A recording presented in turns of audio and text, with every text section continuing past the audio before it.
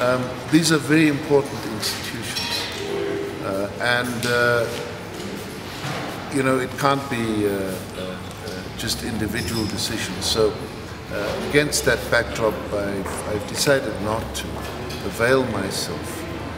Um, my name has been mentioned, and I think it's a privilege to have one's name mentioned in that context. Uh, but I think we, the, the world is not at a point where it will, ev- where you have a system that will evaluate individuals purely on the basis of core skills. I think we must recognize that in respect of the multilateral institutions, but that it were, different. Now, this issue has been in play for some time.